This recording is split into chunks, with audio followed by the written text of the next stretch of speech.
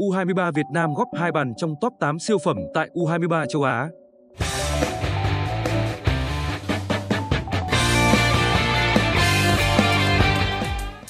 Pha vỉa má ngoài của Nguyễn Văn Tùng và cú đá phạt của Khuất Văn Khang lọt top 8 bàn thắng đẹp nhất vòng bảng U23 châu Á 2024.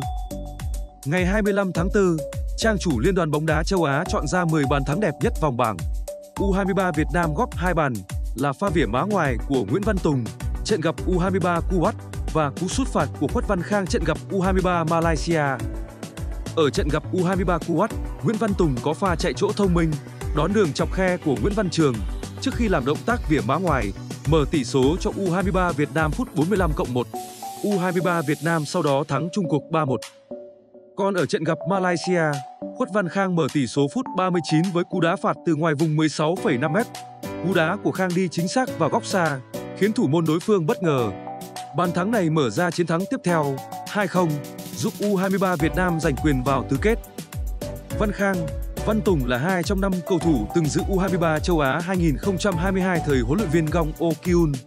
Ba cái tên còn lại là Nguyễn Văn Trường, Quan Văn Chuẩn và Lương Duy Cương. Ngoài hai bàn của Việt Nam, AFC còn chọn ra 6 bàn đẹp mắt khác ở vòng bảng U23 châu Á 2024. Trong đó có cú sút phạt từ khoảng 28 m của tiền đạo Ahmed Al-Rawi, U23 Qatar, trong trận gặp Indonesia. Vòng bảng U23 châu Á 2024 có 63 bàn được ghi sau 24 trận, 10 thẻ đỏ, 93 thẻ vàng.